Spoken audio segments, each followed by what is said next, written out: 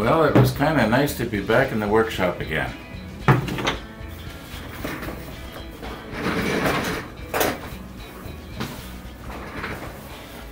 Okay.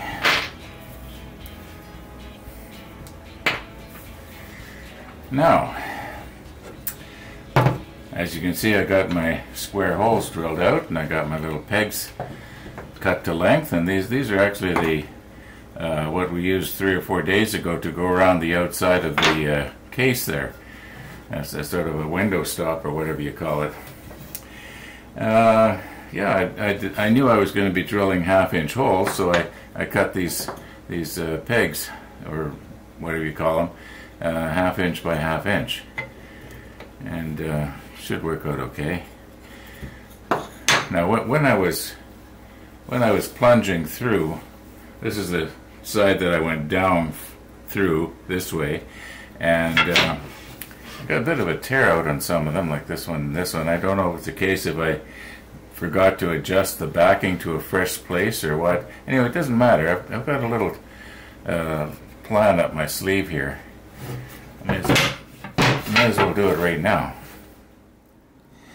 Okay, I've turned this one over and you're looking at it from the top side. And when we put our peg in and force it down through, and uh, obviously this is going to be saturated with glue all around here, and it's going to push the glue out the other side, and it's eventually going to come to this area here where there's a lot of a lot of voids. Now, my thinking is, and I don't remember ever doing anything quite like this before, but I'm thinking that if I was to put some tape, maybe I cut that a little bit too wide. I think I can just trim that down.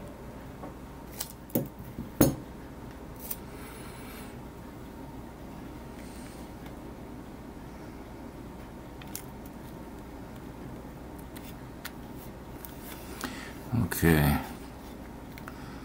All right, now Make sure it's going to seal all the way around. Okay, now the glue is going to have less of a chance to run to run out on me before it has a chance to dry. I think it'll just be just a tiny bit stronger. Not that it isn't going to be strong anyway. It's, you know, it's, it's, it's going to be like super strong anyway. But uh, I don't know, just just something I want to try here. Like I said, I don't think I've ever done it before, and I'll know if it works or not for next time.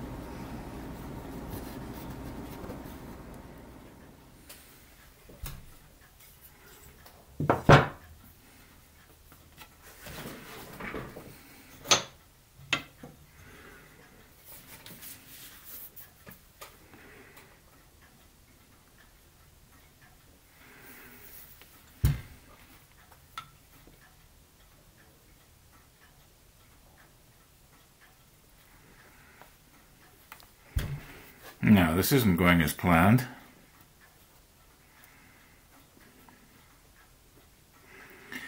Good thing this glue is paintable.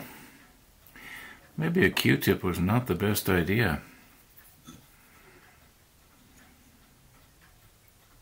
Maybe I should just use my finger.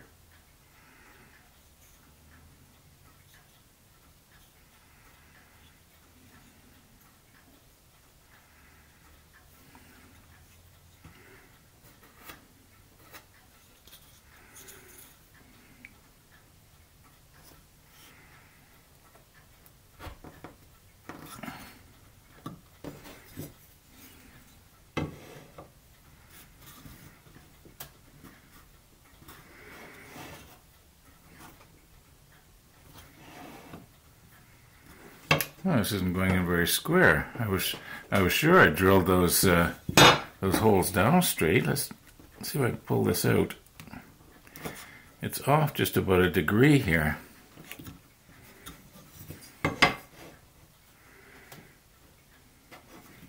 Don't want to pull down too hard, or it's uh, going to break this break the peg.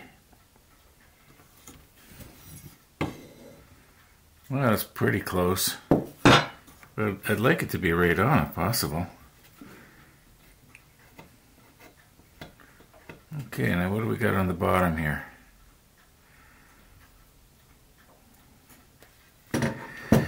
Well, let's see if I can do a better job on the next one.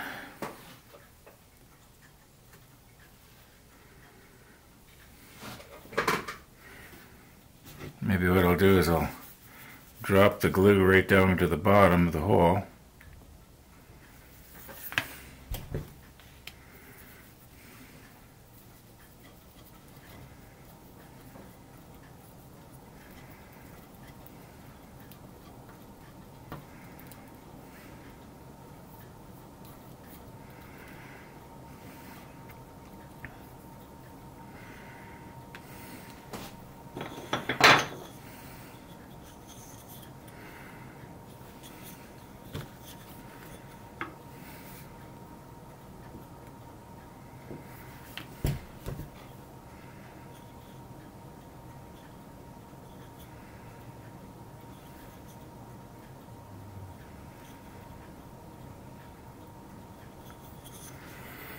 Let's see now, which way do I want this up?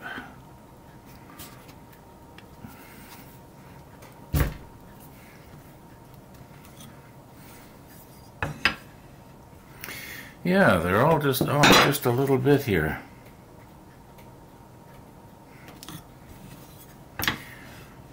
Yeah, it could be my mortiser was uh, my mortiser was not adjusted straight up and down at 90 degrees and I didn't notice. It was very close though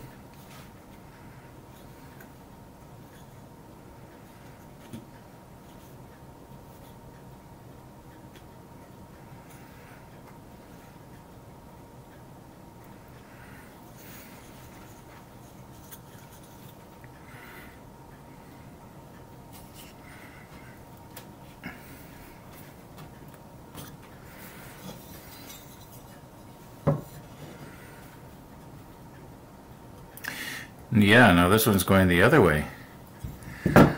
Okay, and that is because I turned this thing end for end when I was doing it, so...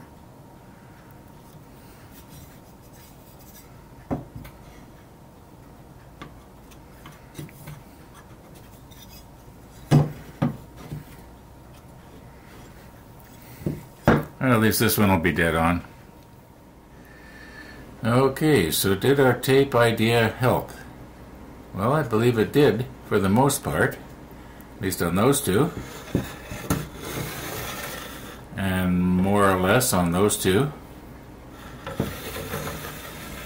But these ones here, I believe this, this top one, that was the first one we did. And uh, I didn't uh, sop the glue down to the bottom on that first one. However, it's still way stronger than necessary. Uh, these these dowels or these uh, square pegs, they'll break off long before it would ever pull out of that hole. So it was just a thought. I wanted to see how it would work, and it worked. We'll let those dry for a while now, and uh, I wouldn't want to accidentally move them out of place. They're a pretty tight fit, though. I don't think they would. Probably 20 minutes is all it's going to take, and then I wouldn't be able to pull those out of there even if I wanted to. Uh, however, um, got to figure out the spacing on the uh, on the uh, case. I, I, know where I want to put them up and down, but uh, from one side to the other, I don't want them too far apart. Otherwise, they're going to be sort of on the rounded part of the bottom of the hull. Uh, want the, the the hull I noticed on, on both the Bismarck and the Rodney were, were pretty flat for, for quite a distance. So I'm, I'm guessing that if these things are like, uh, uh, oh, maybe all that's necessary is about like that. Anyway, I'm gonna go check the Bismarck and just just see, uh, you know, how where where the hull remains flat, how far how far towards the bow and the stern, if you know what I mean. Anyway, they they don't have to be far apart. I mean, it's not like the case is going to be carried while the ships are mounted in it. I got curious. Why was it that our holes were not perpendicular into the wood? And I went down to the workshop and checked, and sure enough, it was off just a little bit. Now there's many reasons why it could be off. Could be off because the last time I, I used the machine, for some reason I wanted it a little bit off, or it could be that uh, when I when I reset it back to zero, I didn't set it back perfectly, or maybe I didn't tighten those bolts in the back there properly, and uh, it you know and moving it around and everything, I might have you know knocked it out of kilter. A lot of reasons why it could be out, but it was out. I should have checked before I made the holes. But it looked okay. It was so close that I couldn't, you know, by eyeballing it, it looked alright. Anyway, we're going to measure the hull on the Bismarck tomorrow. Uh, that is, check for the flat part on the hull. And uh, yeah, we're going to call it quits for today. Thanks for watching, and all being well, we'll see you tomorrow.